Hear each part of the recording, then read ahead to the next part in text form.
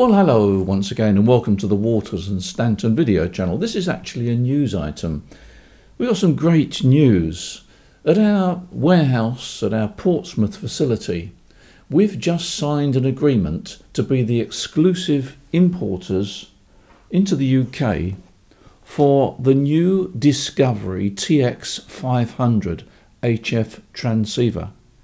It's a great design and it's got some very, very special features. Well, the Discovery TX500 offers quite a lot. It covers all bands from 160 meters through to 6 meters. That, that also includes the 5 megahertz band. And the maximum output is 10 watts.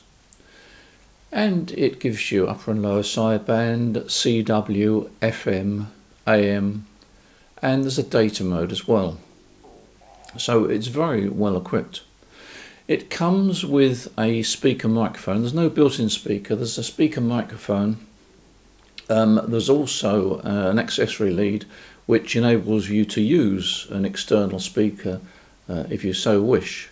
I think a lot of people will either use headphones or the speaker mic because it makes it very compact as a portable radio.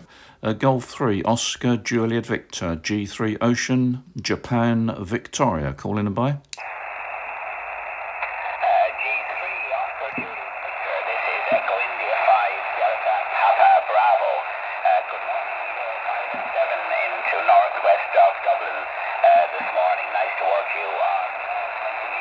and say running 10 watts into a dipole. From Golf 3 Oscar Juliet Victor.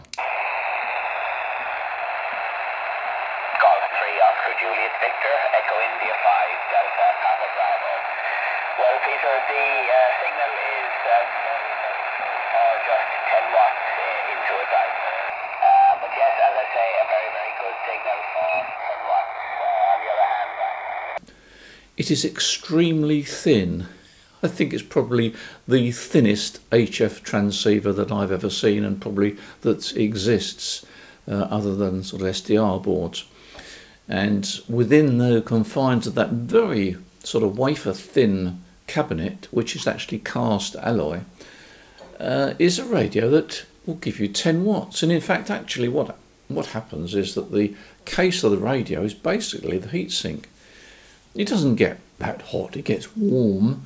Um, it's very low current drain on receive, very efficient on transmit. So it runs uh, runs pretty cool, and you've got a very comprehensive uh, front panel screen.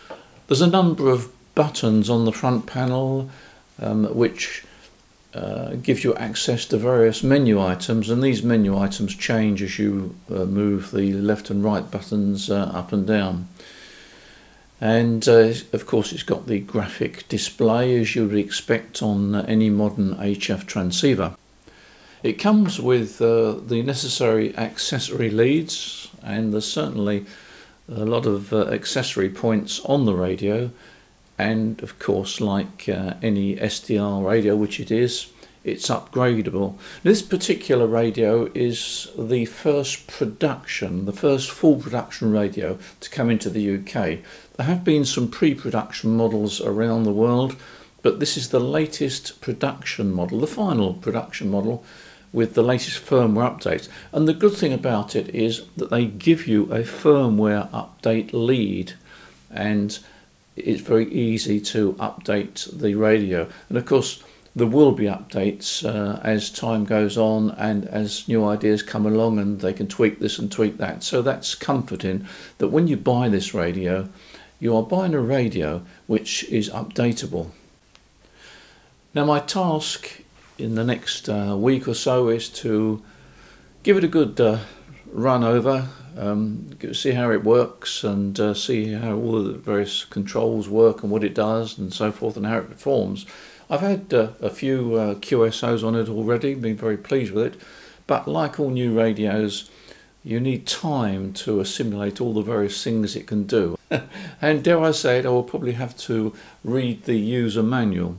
By the way, the user manual is downloadable um, if you go onto the uh, the website and I'll give you a link underneath this video so that you can actually go onto the website and ex- explore the features of this radio a bit more. As regards delivery, we expect the first batch to arrive in September.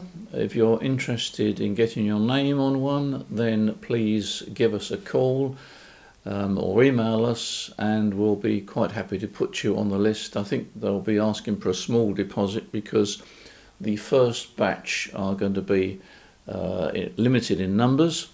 But once the first batch arrives, then hopefully the flow will be uh, fairly good.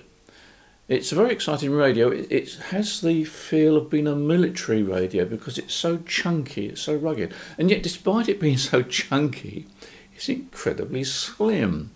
So it's quite a nice combination. So thank you for watching this video.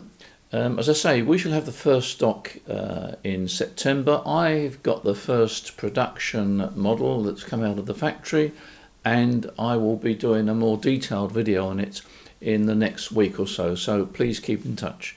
In the meantime, thank you for watching this video. Appreciate your support and